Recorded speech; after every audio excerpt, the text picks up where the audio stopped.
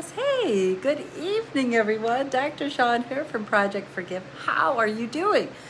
Tonight's our usual night of lectures. Tonight's lecture is about when you're struggling, when everything feels like a struggle. And I thought it was so ironic. I was actually getting ready to go over to the lake house. We have a little lake house by where we live, you know, this little dilapidated area that's a little bit lakefront. We've had it for about 15 years and I maybe 10 years. I get a lot of joy being there. So my husband said, I want to go. I'm like, okay. So we pack up in the car, get over there, and I left my frickin' phone. Okay. So I said, well, it's meant to be coming back to the office with all my props and all that. Even coming on today has felt like a struggle, right? And um, just it's just very interesting how that works. So I got a lot of props tonight. Hey, I see you guys are showing up. Hi Nadine. Hey Connie. Toti's in the house. Marlene. Not sure what those links are, but I'll take a look at them. You might be doing that. Sam Sutton, that's wonderful. Hey, Mary. Hi, Mariela. Buenas noches. Um, okay, tonight's about when life, when everything feels like a struggle. And um, it's there's no coincidence with the topics that I pick. And uh, I usually pick something that I have some knowledge around in this realm of communication, which is my expertise and um, and then something I want to expand some of my own personal knowledge of making the unconscious conscious, making the unconscious conscious. I see Alicia. Hey, Sammy Lee. Hello. Hi, Wanda. Jill's in the house. So, a couple things before we get started. I've got some good stuff tonight that I'm actually excited about. Um, got to thank our sponsors. Our sponsor tonight actually coincides with life being a struggle. Her name is Vanessa Haloum. She's a dear friend and client of mine. Her page is Healthy Positive Energy. And everything I mention, I'll be sure to put up in the links um, when I'm done with the live.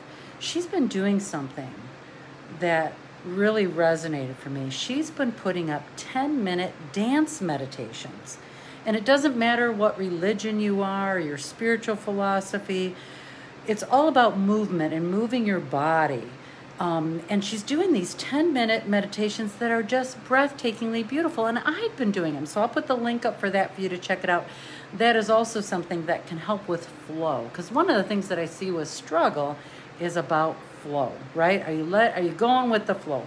With how crazy it is right now, it's hard to go with the flow. Even the stupid mask conversation is painful. It is so painful. It's um it's politicized. I don't care what side of the fence you're on with the mask. I don't care. Your choice. You get to choose what you want to do. The messaging, the communication with it has been so strife with dilemma and struggle. You know, what do you do if you have five, six, seven year olds that can't wear masks and can't get vaccinated? So there's there's a lot of struggle around just even the mask conversation, right? So I just thought, oh, that's so appropriate about what's going on. All right, couple of things tonight. If you're inspired by our store, check it out. We do have masks on there. And of course, we're going to stop selling masks. We're going to just make it a bonus gift with our other products that we're, we're starting to sell. We finally got our labels for our Forgiveness Essential Oil. It shows up to you backwards. This stuff is expensive. And um, we found a cost efficient way to sell them. Someone tonight's going to win a prize. I'll do the prizes at the very end. And you're going to get our first labeled essential oil. They'll be up in our store probably this weekend. Heile's on vacation this week. And um, we're going to send you a couple masks. We're going to send you our white one and our black one. They both say kindness is contagious. So someone's going to win that tonight, and I'll tell you how to win. My lectures usually last about 15, 20 minutes, sometimes up to 30, depending upon the questions. Okay, I see you guys are showing up. It's nice to see you too. Wonderful. Um, we do have emails that go out. I'll make sure I put up a link if that's something we're really focused on the conversation of joy. We also have a Joy is a Habit Facebook group. If all else fails, finding one moment a day to just find some joy, no, regardless of how angry you are, angry you are, upset you are, down you are, sad you are, it doesn't matter. Finding just those precious moments of joy can really impact your mental health. And with that said, as I dive into this topic tonight, I need to say I'm not a medical doctor. So if you are being treated for depression, anxiety, bipolar issues, um, please see your doctor. These are just some tips I'm going to give tonight to help with when things feel like they're really, really struggling or you're really, really struggling. Okay? Um, if you're new, tell us because we love to welcome you. Our community is so exquisite and people will just love you up. And um, if you're inspired by stars, woohoo, throw us some stars. We use that for folks that can't afford our services, even though our services are pretty low cost. And uh, we'll be highlighting our workshops that are starting in June that will be off Facebook. The main reason being is because the work that we do is pretty darn vulnerable and very raw. And when you have people just popping in on Facebook, it's really hard to get really comfortable in your skin and share some things, right? Okay? All right, let's see if there's anything else I need to say before I dive into struggling. Okay, no, I think that's good.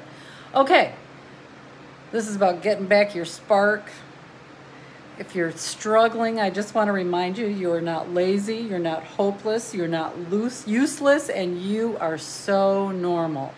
And these uphill battles or this struggling can feel like you're carrying rocks. So tonight's conversation is about how can you release some of those rocks that are in your pockets in some cases. It might be bricks. I've had my own version of bricks, right? Um, yeah, totally with you. Okay, so I just want to remind you that struggle is not permanent. The goal today is to short circuit it and not prolong it to short circuit it. Okay. And here's the thing we don't, when we're struggling, we don't want to indulge our brain and our neurolog- neurological pathways in the struggle for too long. It's very healthy to immerse yourself in your emotions because that's an indication you're aware of what's happening with you. You're making the unconscious conscious. And it's okay to feel the need to take a day or two, sometimes a week, to really listen to yourself, maybe even listen to sad music. When I'm struggling, I might listen to sad music or watch a sad show that I know is going to let the tears come because I might feel bottled up. That's just part of my own self care routine, right? And um, reminder this is really temporary. So I want, I want to bring to focus some of the conversations that can, can come up during this. Sometimes when we're struggling, we might be struggling with life is not fair or getting immediate gratification. Life is certainly not fair. When a fav- when something goes in our favor, we don't complain that life's not fair. We're just glad that it's in our favor, right? And when this immediate gratification conversation is a very young conversation. I don't know if you've ever heard of these studies. This was back when it's in the 70s can't remember the researcher's name. He did the marshmallow test. Have you heard of the marshmallow test?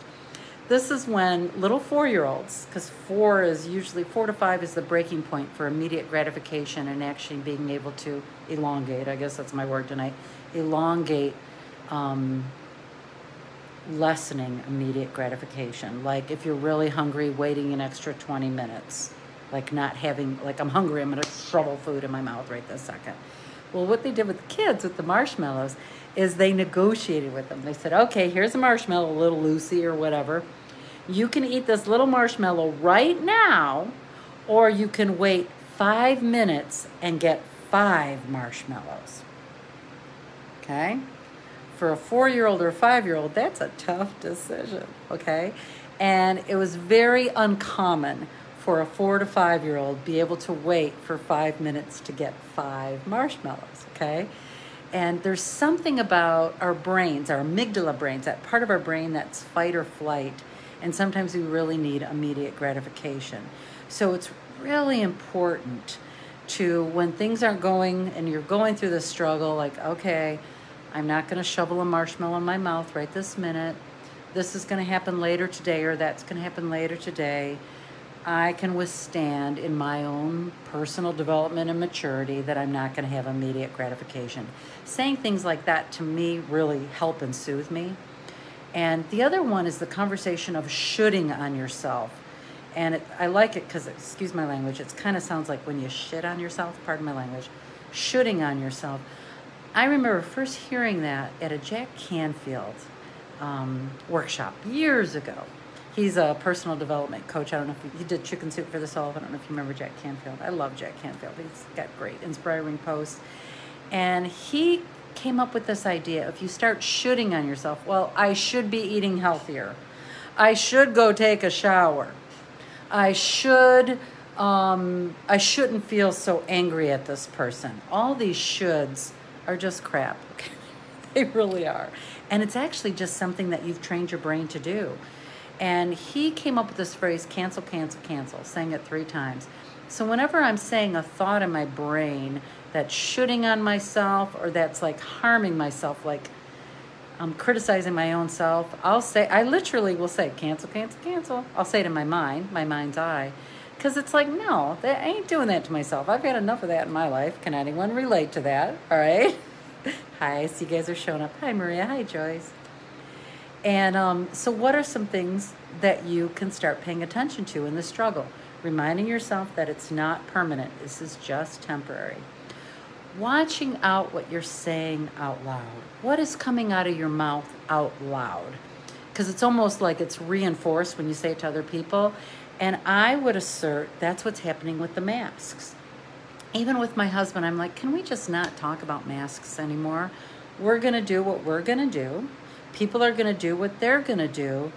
Let people choose and have their life and choosing to get all upset about it, whatever side of the fence you're on, serves no one. It actually just makes me feel worse. So I'm going to honor people's choices and let them do what they need to do. I'm going to still make my choices based on what how I feel, and that's good enough for right now because that's what's going on. Elizabeth, perfect words. This too shall pass. That's another phrase that I love too. I have another one that I love. It's actually a Bible verse. Please know, Project Forgive is non-religious, non-partisan. I happen to, you know, have God as my deity. And I have the Bible phrase, be still and know, which is from Psalm that soothes me and comforts me. Actually, here, I'll just show you. It's up on my wall. My daughter gave that to me because she knows it's one of my favorite Bible verses. It keeps moving because I just got this little Fergie plaque. But this is on here. Joy is a mantra of mine. Be still and know is actually my version of this too shall pass. I love that you said that, um, Elizabeth. So saying those repetitive things in my mind really work. What about the notion of asking for help? Do you know statistically, a large proportion of adults globally struggle with asking for help? What does it mean to you when you ask for help? Are you better off doing it yourself? It'll get done right yourself. Actively think about what are some things you can ask for help with, right? What are some things you can do? And um, one of mine today was dinner. You know, um, what do you want to have for dinner? I don't know. He says, I don't know either, because usually I cook. And um, just too much. I did, actually, I was struggling so much today, I didn't want to cook. so it's actually perfect that we're doing a lecture on struggling. And uh, I says, well, what about Five Guys? Because I love Five Guys. We haven't been there in a while. And he says, well, this neighborhood bar, we have a neighborhood bar by us. He says, maybe we can get hamburgers there. I says, because well, if they have the special, because sometimes they have $5 burgers on Mondays or Tuesdays. So I said, great, would you take care of that? So while I'm sitting here doing the live, he's taking care and figuring out where we're going to get burgers. I know it seems small. I'm usually the one that does all that stuff so that I feel over responsible a lot. I really have a hard time asking for help. Can anybody relate to that? So just like little things, start little, little things, start asking for help. I saw something that I thought was great food for thought and it had one, two, three, four things listed. Whatever I say, just you know, I'm going to put in the notes when I'm done. It said, here's the food for thought. It had four things. Past results. What have you done in the past when you're struggling that worked? Why? What hasn't worked? Why? Those are good questions. Reactions. What have you done that others notice? And I think about my reactions. I look at my how I set boundaries. Um, I'm looking at my anger, my reactive anger, um, and I'm seeing as I'm unpacking it that it's linked to old abandonment, old like looking at. I'm unpacking my anger because I think anger is a very healthy thing. Boundaries are very healthy, but when you use boundaries as a weapon, it actually defeats the purpose because the the goal of boundaries is to bring you closer not to punish someone for not doing what you said. Let me say that again, because that is critical.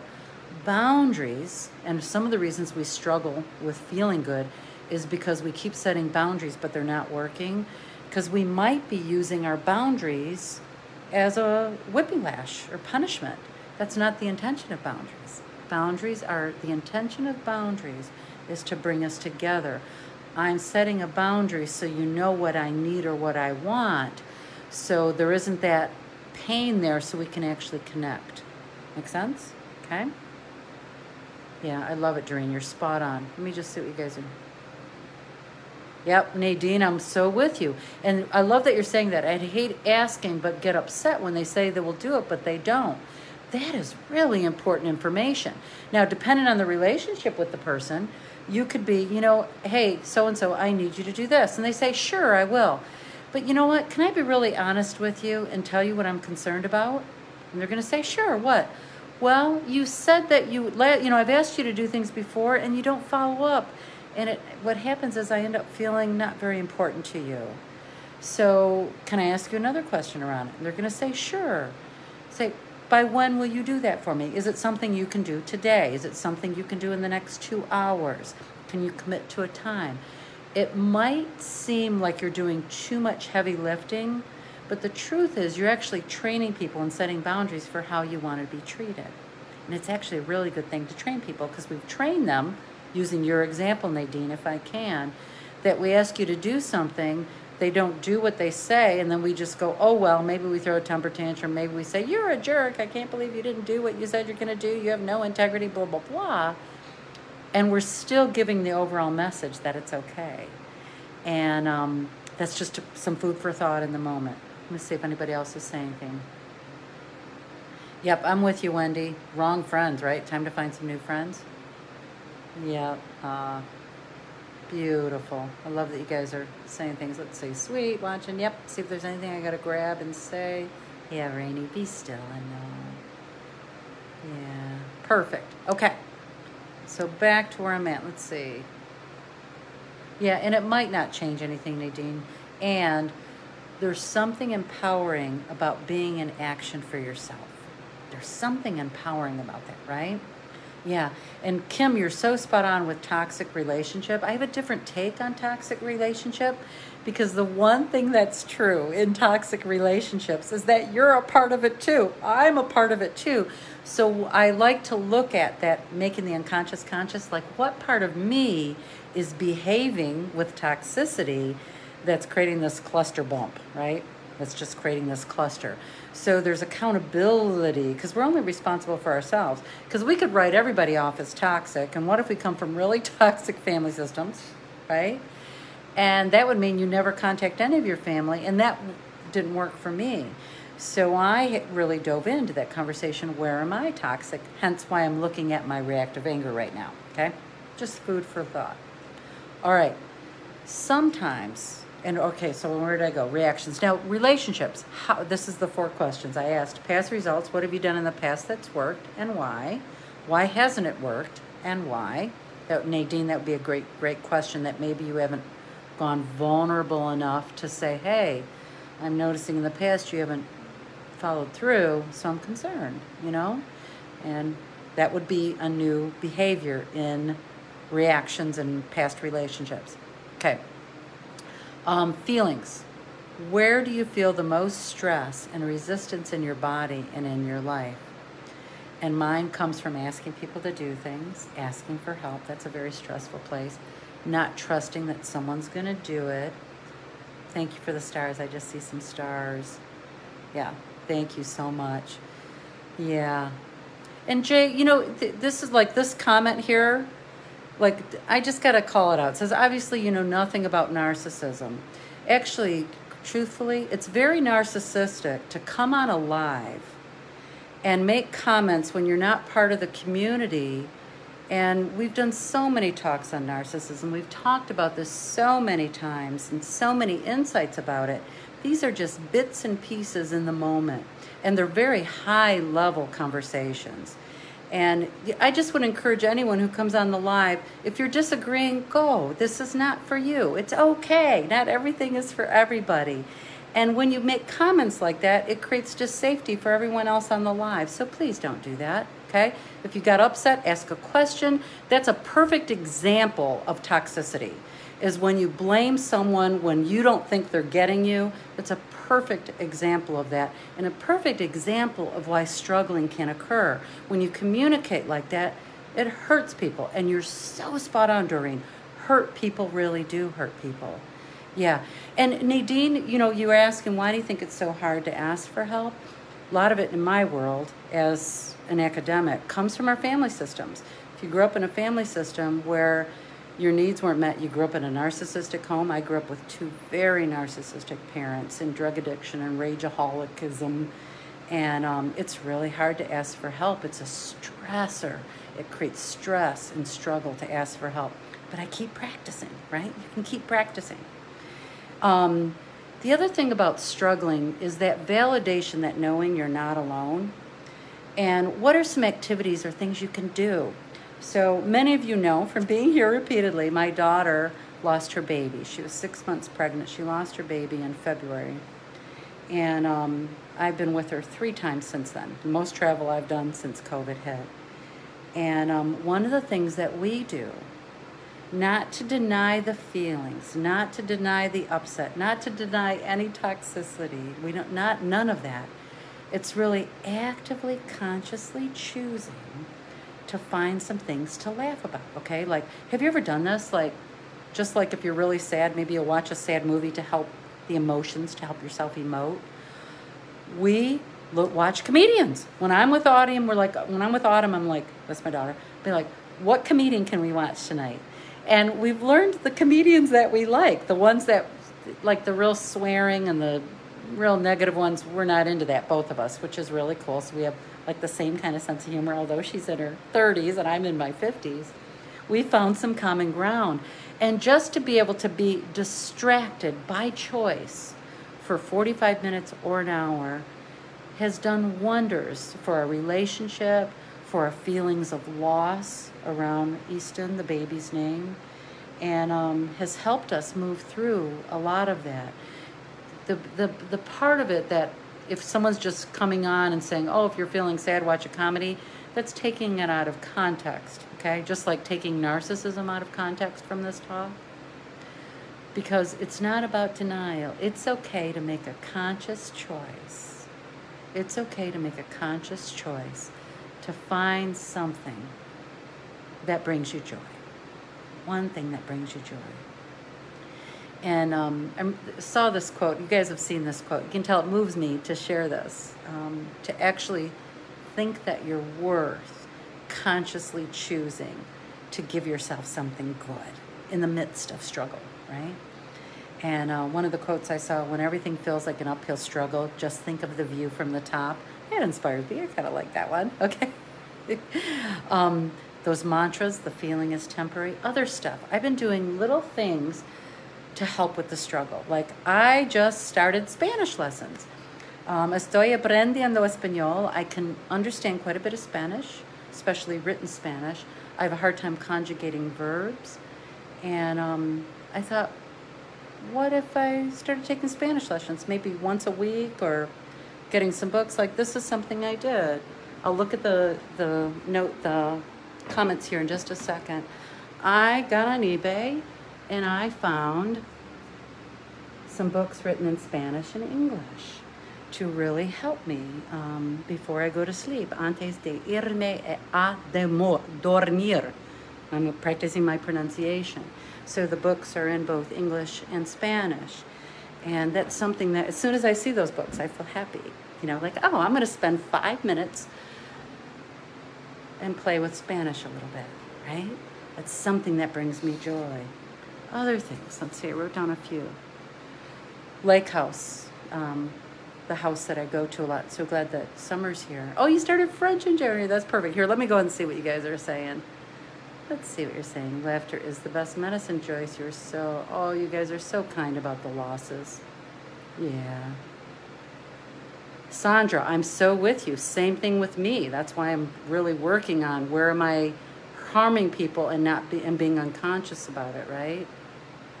Okay, Nadine, that's great about the kids and laughing. You're spot on. Laughter is magic, Maria. Thank you, Trees. Just looking. Abigail, you're spot on. You are so spot on. about that emotions are our compass. Our emotions are there to tell us, give us clues and hints about what's really going on for us. Sometimes, though, when the emotions are so intense, we kind of shut them down or shut them off. We shut them off with smoking, drugs, too much food, busyness, right? Yeah. Yeah, I'm with you, Nadine, on the comedy. Same with you. Yep, totally got it. Beautiful. Okay, let's see if there's anything else I gotta see what you're saying. Yeah, when you're asked, Kaylee, I'm so with you, Kaylee Ann. When you're asking for, and I hope I'm pronouncing your name right, when you ask for help, some think you're looking for a handout or, you know, a pity party or something. I'm imagining that's what you're, you're trying to say. And that's one of the things to look at.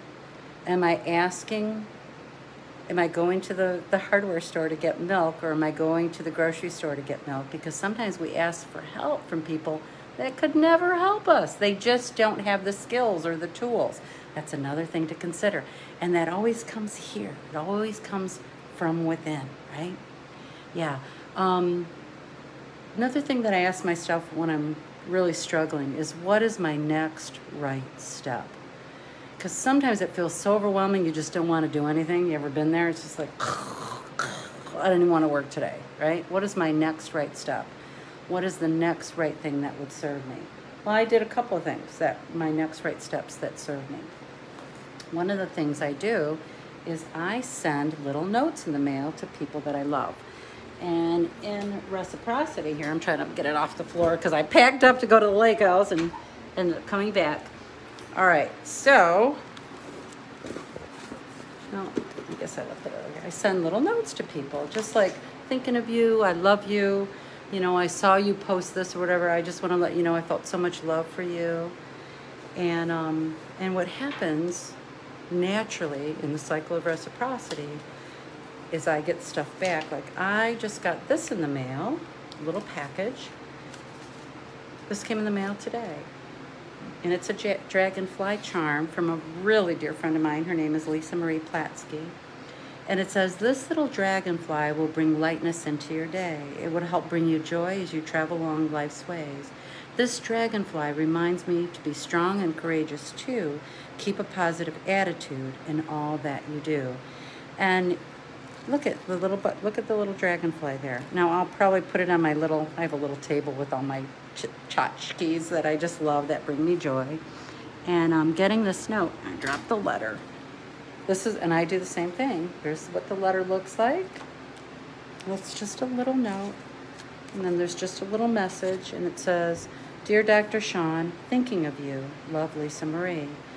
Just that alone, this has made my day. And I know that when I do it for others, I'm making their day as well.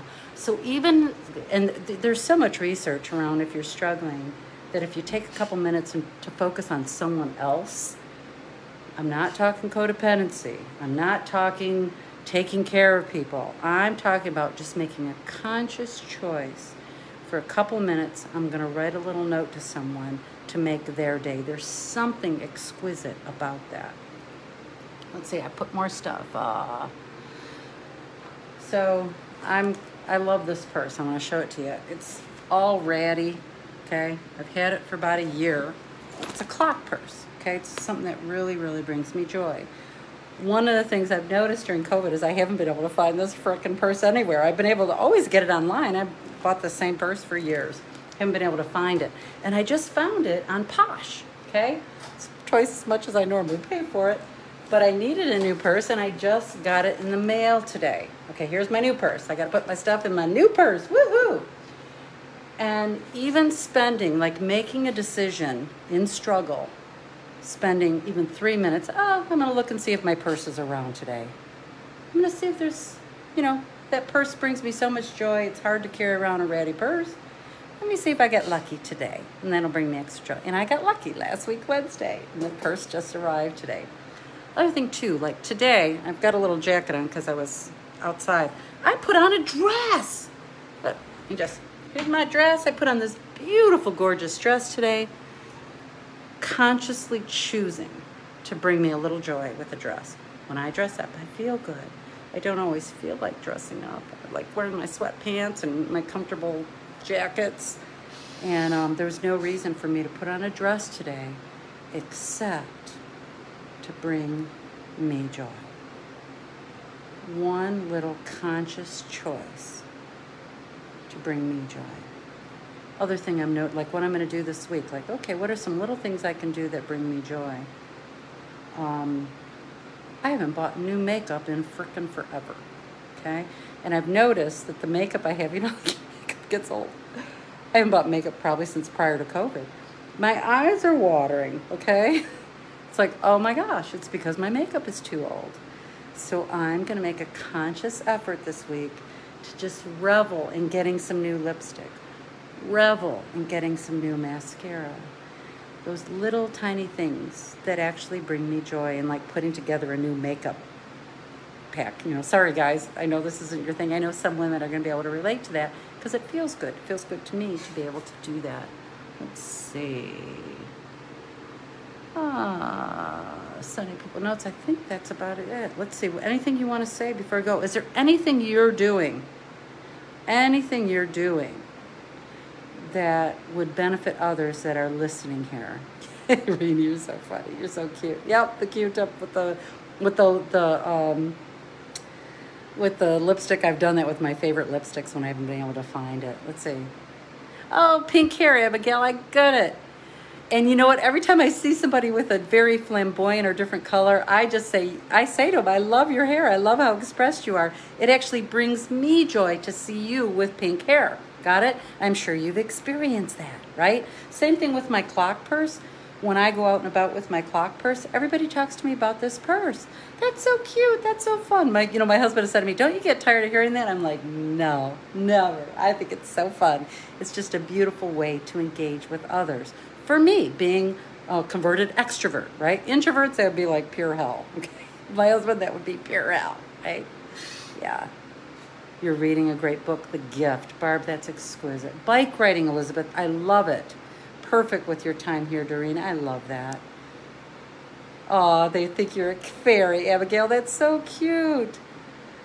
Never heard back. Okay, I'm with you on the old boyfriend thing. And if that feels good, rock and roll. Let's see. What else? What else? Oh, hi, Pam. We're so glad you're here. So glad you're here. Perfect.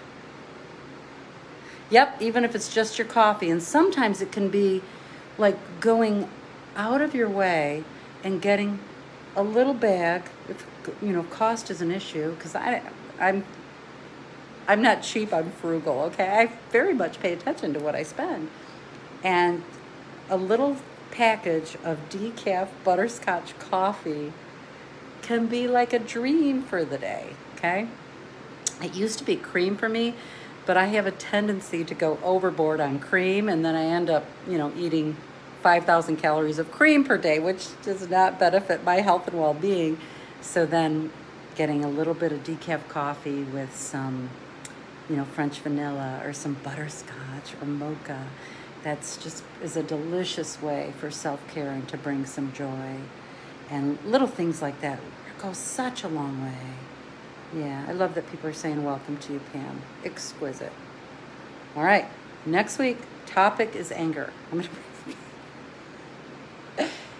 and i'm gonna approach it with embracing healthy anger it's okay to embrace healthy anger what does that look like? What the frick does that mean? Because we equate anger with violence culturally, globally. We really do. And I assert that many of us have learned to push away anger, be a nice person. We push away anger so that we create these reservoirs of anger so that when we actually do get angry, it's like a volcano erupting because we've been holding it in, holding it in, holding it in um, and not holding our amygdala brain in check. And that's something I'm deeply working on. And uh, I'm getting some new ways to deal with that. So we're going to explore that next week. Okay, prizes. Somebody's about to win a prize. See if there's anything else I need to address. Abigail, I'm forever going to look at you like a fairy from now on. You're so welcome. Ah, rooftop gardening. That's exquisite, Aruna. And actually, go check out the Joy page. My husband, with the gardening, is his big thing and sustainability and bees. He does lives every Sunday, so go check him out. Say, Oh, you're so that's so great, Wendy. Yep, I'm I so get it. And you know what, Wendy? I'm I, I'm going to add this. Today I found a new counselor. I've been in and out of counseling my whole life. I'm a huge proponent of getting support in counseling. Always have been. The mantra I've always given to our kids is, well, if the, the toilet is stopped up, we get a plumber. If the family is stopped up, we get a counselor. So it's the norm in our household. And uh, I actually, part of the things that I did today with my struggling is I said, you know what? I need somebody really sharp. I need somebody really smart that has a lot of skill, a lot of empathy, that can help me unpack some of these things that I'm looking at. And I think I found her. And I had a conversation with her today. So who knows? And I'm not going to give up. I'm Wendy in that realm of counseling. I'm a huge proponent that you, if you have to change counselors, rock and freaking roll, find you will know when it kerplunks, when they challenge you in a way that feels good, when they offer insights that you don't have You'll know when it's time to find somebody new. And it's that's my time now. Yep, perfect. You are so welcome. Oh, welcome, first timer Cindy. Welcome. We're so glad you're here. Yeah, that's so cute. Perfect. Everybody's saying hi to you. Hey, Jersey Shore, newbie Lori. We're so glad you're here. Uh, I'm so glad, Ruth. Wonderful. And you know, one of the things I do too, on purpose, consciously, when people say inappropriate comments in the live, because there's not i have no control over that. Like if we're in a closed training i have a lot more control to create safety as a setting. I don't have it here. So the reason and like under normal circumstances i would just let it go and not say anything. It just feels appropriate sometimes when i'm live here to address it when it's happening and practice and show hey don't do that that's weird i don't like that to actually say that out loud without being a bee or without totally annihilating someone, and for just setting good boundaries. It's very healthy to set good boundaries. It's a very, very healthy thing. Okay. All right. Prize. Who wants to win tonight? Okay, I've got a couple of masks. If you're choosing to wear masks, you might have some people in your life that are still choosing to wear masks because they have little kids and they don't want their kids to feel alone um, or you're looking at different aspects of the mask wearing, I really don't care. Please, please, please, I really don't. If you're inspired by the masks, I'm continuing to wear masks because I have grandchildren that are not vaccinated, and um, there's many reasons why I'm still choosing to do that, and that's fine. Everybody, each his own. Maybe you can give it as a gift if you don't wear masks. And you're also going to get our forgiveness essential oil, we're so excited about it. It's actually 100% pure therapeutic essential oil. It's therapeutic grade. We had it created for us. And um, I got to get all the ingredients. So next time when we're actually selling it, I'll be able to tell you what's in it. I know there's some lavender and I know there's some sage in there. Um, it smells delicious and it's exquisite. So somebody's going to get all three of these wrapped up in a little package, shipped out to you. The only caveat is you have to be in the U.S. to win. You have to be in the U.S. So, and what I typically do, and it's so not fair, sometimes you're lucky, sometimes you're not. I'm going to give you a phrase to type in. And the first person that types in the phrase or whatever I tell you to type in and it shows up in my feed, you will receive this gift in the mail. I'll pop it out in the mail. All you're going to do here on Messenger is send me your mailing address as well as your email so you can track the, the, the package, track the, the mail delivery because um, sometimes, you know, the mail takes a while. That's just what's going on now. Okay, so who wants to win? Here's what I want you to do. You can do one of two things. You can either, first person in my feed, it's going to look different on other people's feed. This is the part that's not fair. Okay, I know it's not. Just so you know, I know that you know that I know it's not fair. Okay, I'm going to have you put in something in the comments, and the first one that shows up in my feed gets it. So, I just want to see a heart emoji. I just want to see a heart emoji. You can either put in an emoji or even write the word heart. First heart emoji for my sharing that this is what needs to come in the feed is the prize winner tonight that gets a couple of cat more. It's you, baby. It's you. Perfect. It's you. Yep, I see you guys are playing. I love that you guys are playing. Perfect. It's not fair. Remember I told you it's not fair. Right. So what I need you to do, Miss Cat, let me see, we had it, let's see, it's Cat. What I need you to do, Cat, is put your mailing address, even if I have, even though if I have it, please put it in there anyway, and put your email. The only two people that see that information is me and Hiley, who helps run the office, and we'll get that sent out to you. Okay. Um, all right, that's it. Next week, embracing healthy anger. What does that mean? What does that look like? Anger is your internal warning system. It actually can save your life. And when we don't listen to it, our anger gets distorted. And um, we act in ways that push people away from us rather than pull them towards us. So we're going to look at embracing healthy anger. Okay? Okay. Big love. I will talk to you guys soon. Take care. Bye bye.